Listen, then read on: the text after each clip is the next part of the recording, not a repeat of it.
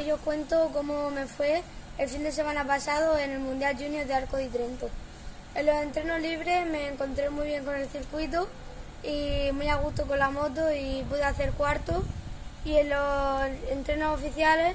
eh, cuando rodaba quinto, eh, salí largo en un salto y rompí muchos radios de la rueda atrás